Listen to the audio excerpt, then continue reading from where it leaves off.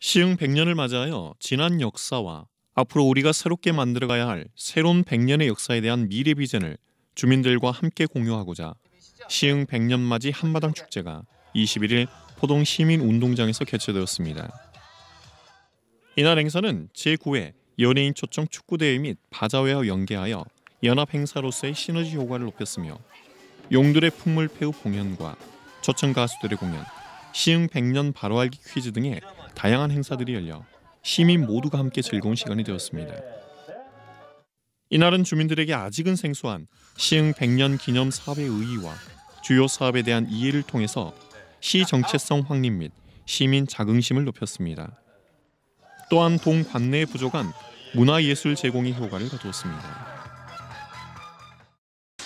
생명도시 시